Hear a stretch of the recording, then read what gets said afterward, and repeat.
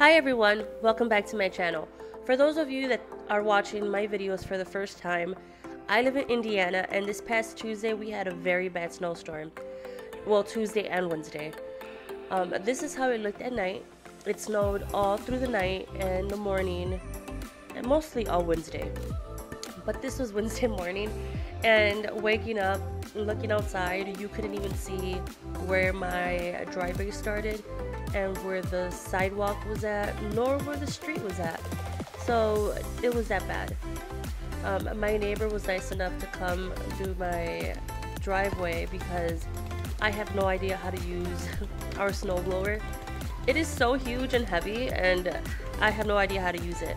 So she came and she did my driveway. She is truly the best. Every time I need her for anything at whatever time of the day it is, she's always there and I'm so blessed to have her as my neighbor.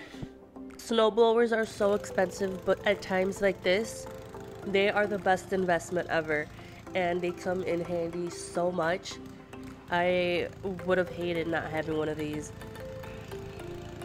If you guys are wanting to buy a snowblower, I highly recommend you guys going in the summer. I know it sounds weird buying a snowblower in the summer, but trust me, you'll save a lot more money buying it in the summer than right before winter. We saved a lot of money by doing that. We did get a lot of crazy looks because come on, who buys a snowblower in the summer? But like I said, we did save a lot of money on it. So if you guys are planning to buy a snowblower, again, I recommend you guys going in the summer.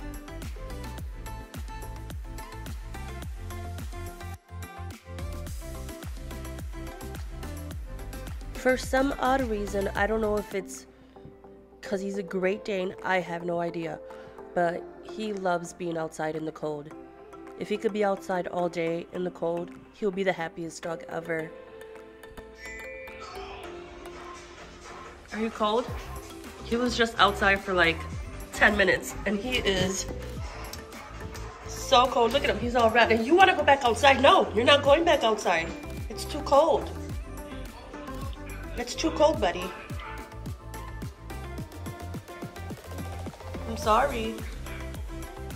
In my last video, I told you guys that I was going to show you a before and after of my kitchen. And here it is.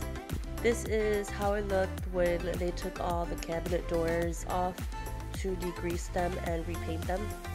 It looked a hot mess in my kitchen. All over my house because they were painting my living room and kitchen and they redid all my trimming and it was just a hot mess in my house. But this is how it looked before. And this is how it turned out. And I love it. I love how it looks now. It makes the kitchen look so much brighter. And I love it. We also changed the hardware, like the knobs. We changed the knobs and I don't know what the hinges or I don't know what you call that. But we changed those as well because the old ones look disgusting.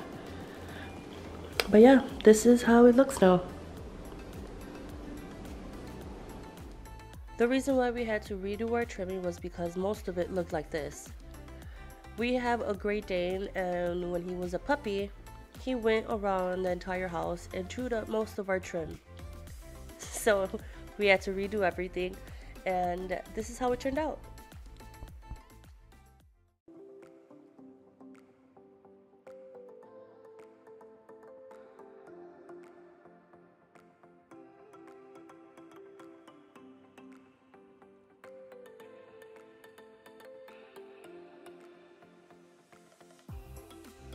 Like I said, we did the trimming in this hallway and we also repainted all the doors in the entire house and all the closet doors in the entire house as well.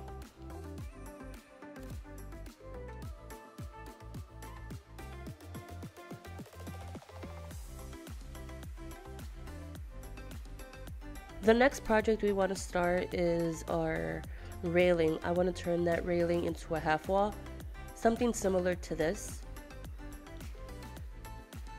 We also repainted our entryway and our door as well. So this is how it looked before. And this is how it looked after.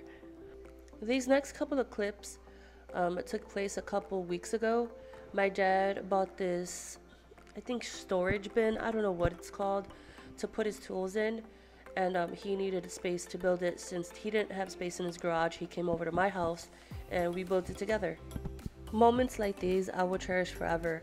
I love building stuff with my dad, even though I get yelled at half the time because I'm doing something wrong or I'm not doing it his way, but I wouldn't have it any other way. I will cherish these moments forever just because I love doing things like this with my dad. And since I moved out, it's been about five, four years that I've moved out already. Um, I love it when he asks me for help, and I will drop anything for him to be able to help him out.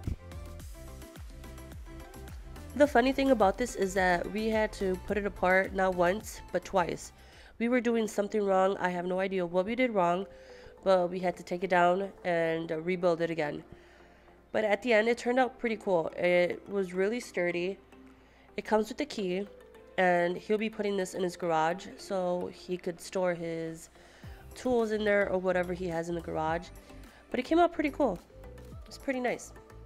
Before I end this video, I just wanted to say thank you so much for those who have subscribed and been watching all my videos.